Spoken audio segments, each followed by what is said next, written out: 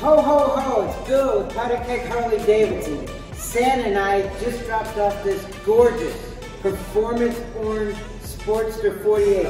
This color is absolutely incredible, a lot of fun to ride.